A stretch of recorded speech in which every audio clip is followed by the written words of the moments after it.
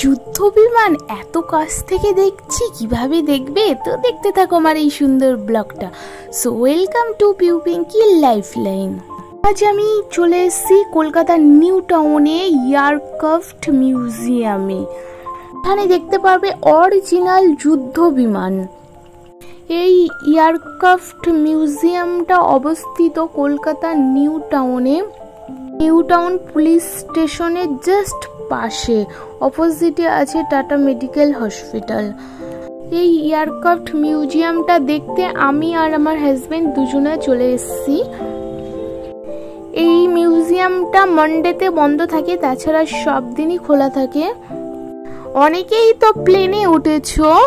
Army ফৌজিরা ছাড়া যুদ্ধ বিমানে উঠতে পারে না বাট এখন কলকাতা নিউ টাউনে সবাই সকলে এই যুদ্ধ বিমানে উঠতে পারবে। বন্ধুরা, এটা একদম অরিজিনাল যুদ্ধ বিমান দেখতে পাচ্ছ কত বড় বড় তার পাখাগুলো। এই যুদ্ধ বিমানের নাম হলো T U P O L E V বা T U one forty two. এটা একটা যুদ্ধ বিমান যুদ্ধ বিমানের মধ্যেটা দেখাচ্ছি। এখানে অ্যালাউ নেই। ক্যামেরা দেখো লেখাই আছে নো ফটো কারণ এখানে ক্যামেরা ফটো তুলতে দেবে না। বাট আমি অনেক রিকোয়েস্ট করে এটা পেয়েছি। তোমাদের জন্য সেটাই দেখাচ্ছি। এর মধ্যে কি আছে? এখানে গাইড করার অনেক লোক আছে। আর এই যুদ্ধ বিমানের মধ্যে প্রবেশ করতে পারবে।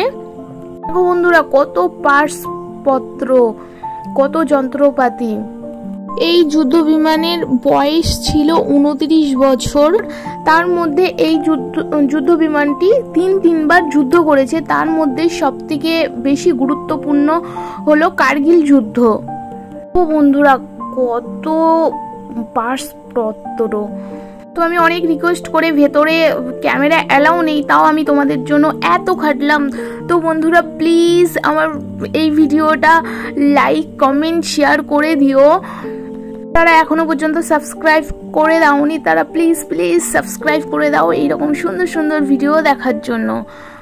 এই এয়ারক্রাফট মিউজিয়ামের টিকিট ফিস হলো তিরিশ টাকা, আর স্টুডেন্টদের স্টুডেন্ট কার্ড দেখালে ওদের ফ্রি হয়ে যাবে। পুরোটা ঘুরিয়ে ঘুরিয়ে দেখাচ্ছি, কেমন হয় যুদ্ধ বিমানটা। বন্ধুরা, কে কে আসছো? আমার অল ইউটিউব ফ্যামিলি ফ্রেন্ডগুলো কে কে আসতো দেখতে? আমাকে কমেন্ট বক্সে জানাও। আর ওর কোনো রকম গাইড হলে আমাকে কমেন্ট বক্সে জানাও, আমি হেল্প করে দেবো। এই মিউজিয়ামটা তৈরি করার সম্পূর্ণ দায়িত্বে ছিল কলকাতা মেট্রোপলিটি ডেভেলপমেন্ট অথরিটি এই এয়ারক্রাফট মিউজিয়ামটা তৈরি হওয়ার পর কে এমডি হ্যান্ডওভার করে হিটকোর কাছে, অর্থাৎ এখন হিটকো অনার বন্ধুরা, আমি পুরোটাই দেখাচ্ছি এই প্লেনের সব পাই টু পাই আমি দেখাচ্ছি। দেখতে পাচ্ছ এগুলো লাইটের মাঝের টেকনোলজিগুলো ও আমি দেখিয়ে দিয়েছি। তো বন্ধুরা, তোমাদের কাছে কোশ্চেন থাকতে পারে, এই যুদ্ধ বিমানটা এখানে কি করে আসলো? অ্যাকচুয়ালি এটা ছিল তামিলনাড়ুতে ষোলোটি ট্রাকে করে পাট পাট করে এটা নিয়ে আসা হয়, নিয়ে এসে এখানটায় সেট করা হয়। এই এয়ারক্রাফটার লেন্থ হলো fifty three point zero seven metre আর এর যে ডানাগুলো দেখছ, এই ডানাগুলোর লেন্থ হলো ফিফটি মিটার এই যুদ্ধ বিমানের গতিবেগ হলো নশো কিলোমিটার পার আওয়ার্সে এবং ছ টন ফুয়েল লাগে প্রতি আওয়ার্সে। এই যুদ্ধ বিমানটি একসঙ্গে বারোশোটি বুলেট আর ক্ষমতা রাখে। তাহলে বুঝতেই পারছ বন্ধুরা, এটা কতটা শক্তিশালী যুদ্ধ বিমান।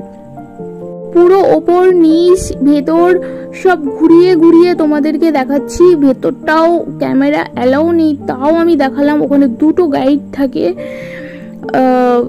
গাইড করে দেবে।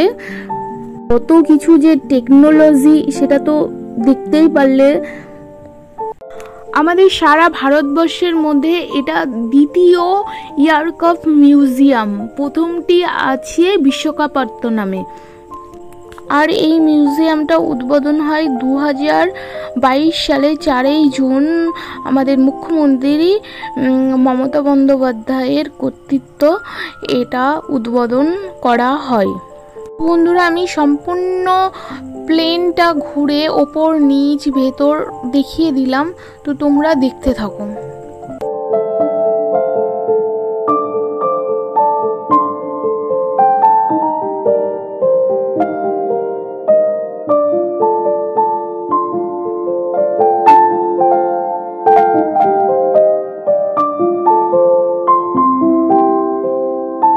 বন্ধুরা, পুরো ফ্যামিলিকে নিয়ে ঘুরতে চলে আসো কিংবা বন্ধু বান্ধবের সঙ্গে অবশ্যই ঘুরতে আসো। আর বাচ্চাদের তো অবশ্যই নিয়ে আসবে, কারণ বাচ্চাদের অনেক শেখার জিনিস আছে।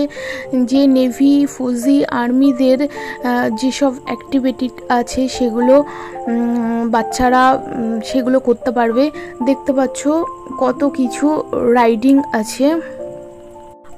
আরও দেখতে পারবে যেগুলো নেভি আর্মিদের জন্য যেসব ট্রেনিংয়ে যেগুলো করা হয় সেগুলো সব রাইডিংগুলোই আছে। এই সব অ্যাক্টিভিটিসগুলোই এখানে তুলে ধরা হয়েছে বাচ্চাগুলো সেই সব রাইডিংগুলো উঠতে পারবে। তো অবশ্যই নিয়ে আসবে কারণ এখানে অনেক কিছু শেখার আছে।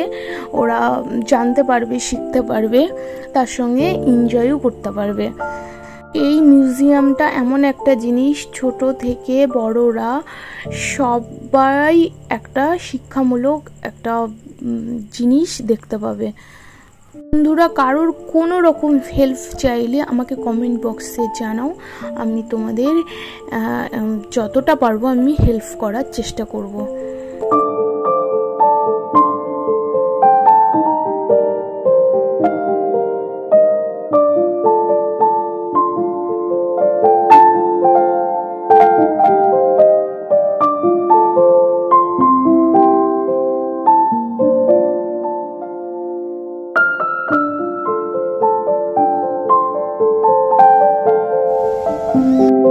এই মিউজিয়ামটা সত্যি খুব সুন্দর।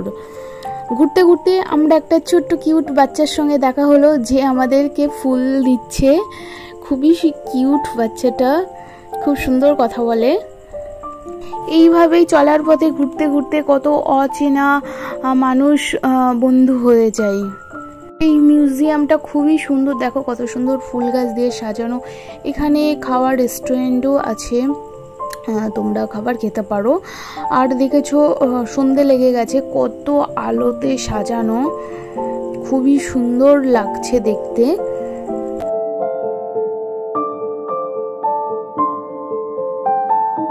তো বন্ধুরা, এই মিউজিয়ামের সঙ্গেই আছে একটা পুকুর বা একটা ঝিল টাইপের, যার মধ্যে ঝর্ণা আছে। সেটা রাত হলে বিভিন্ন মানে লাইটিং জলে বিভিন্ন কালারের লাইটিং হয় দেখতে সত্যি। খুব সুন্দর লাগছে। এই মিউজিয়াম থেকে একটুখানি হেঁটে গেলে বিশ্ব বাংলা গেট বা বিশ্ব বাংলা রেস্টুরেন্ট বা হ্যাঙ্গিং রেস্টুরেন্ট দেখতে পাবে। আজকের মতো এখানেই দেখা হবে নেক্সট কোনো ব্লগে। টাটা।